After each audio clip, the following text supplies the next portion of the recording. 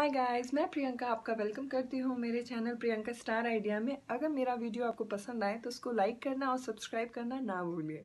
आज हम बनाएँगे एग रोल तो एग रोल के लिए सबसे पहले मैंने एक खीरा लिया इसको पतले पतले साइज़ में कट कर लिया है। एक प्याज लिया है, इसको भी पतले पतले साइज़ में कट कर लिया है।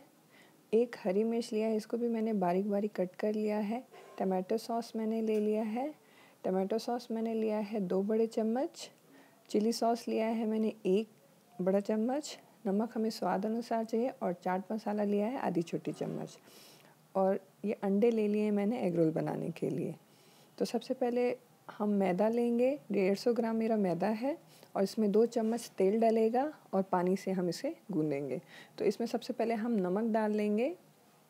स्वाद अनुसार नमक डाल लीजिएगा आप और इसमें अब हम तेल डालेंगे।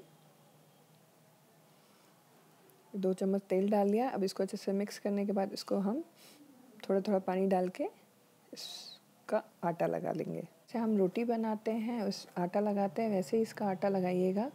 अब इसको पाँच मिनट के लिए हम रख देंगे। इस पर मैंने तेल ऊपर से लगा लिया, आप देख रहे हैं। तो अब इसको हम ढक के एक साइड में रख देंगे पाँच मिनट के लिए। तो ये पाँच मिनट हो चुके हैं। अब मैं इसकी लोइयाँ बनाना शुरू कर रही हूँ। अब इसको हम बेलेंगे। इसको पतला पतला बेल लेंगे हम। ये एक बेल लिया ये मेरा दूसरा रोटी तैयार हो चुका है। अब तवा चढ़ा लिया गर्म हो गया तवा मेरा।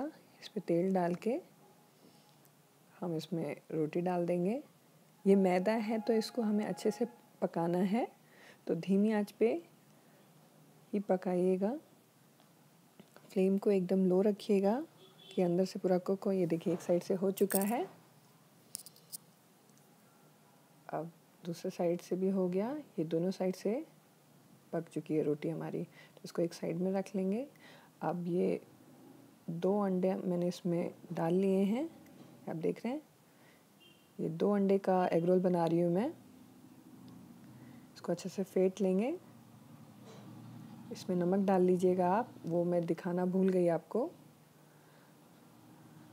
तो तवा गरम हो चुका है। इसमें थोड़ा तेल डालेंगे। फैला लीजिए इसको।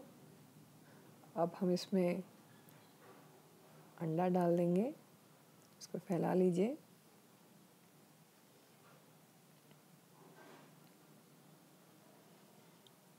तो ये देख रहे हैं आप इस पर हम रोटी डालेंगे।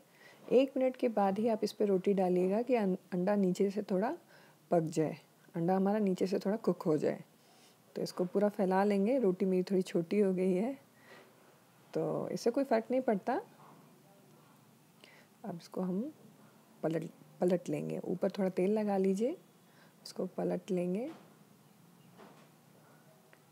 अब हम नीचे से भी थोड़ा इसको पकाएँगे। तो ये हमारा रेडी है। दोनों तरफ़ से पक चुका है। और ये रोटी हमारे अंडे में चिपक गई है। ये देख रहे हैं? अब हम इसको निकाल लेंगे।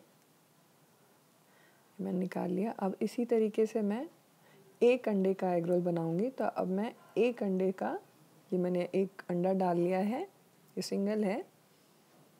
जैसे हम बच्चों को खिला सकते हैं इसको। इस पर अब मैं रोटी डाल दूँगी। अब इस पर थोड़ा तेल लगा लेंगे हम। और नीचे से हमारा अंडा लगभग पक गया है। अब हम इसको पलट लेंगे। ये देखिए, इस पे चिपक चुका है। रोटी पे अंडा हमारा। तो इसको थोड़ी देर और हम पकाएँगे। ये दोनों तरफ़ से सीख चुके हैं। अब हम इसको निकाल लेंगे ये मैंने निकाल लिया है। अब चलिए इसको हम बनाना शुरू करते हैं। ये जो खीरा मैंने कट किया था, इसके ऊपर डाल लेंगे। और प्याज डाल लिया है मैंने। हरी मिर्ची डाल लीजिए आप, जितना आपको तीखा पसंद है, कैसा आप पसंद करते हैं।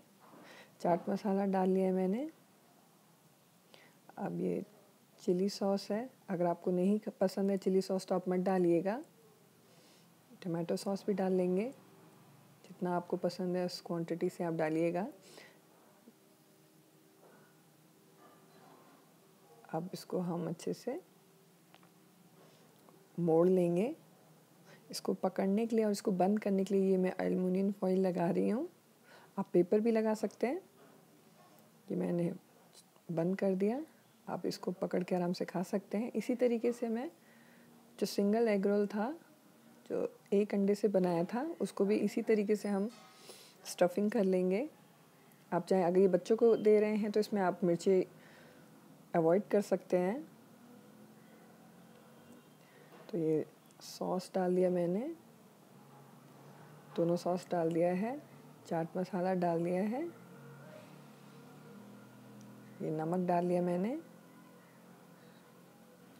ये रेडी हो गया, हमारा सिंगल वाला भी रेडी है। इसको भी उसी उसी तरीके से एलुमिनियम फॉइल लगा लेंगे हम,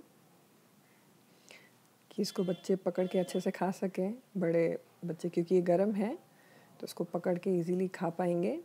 तो ये दोनों रेडी है।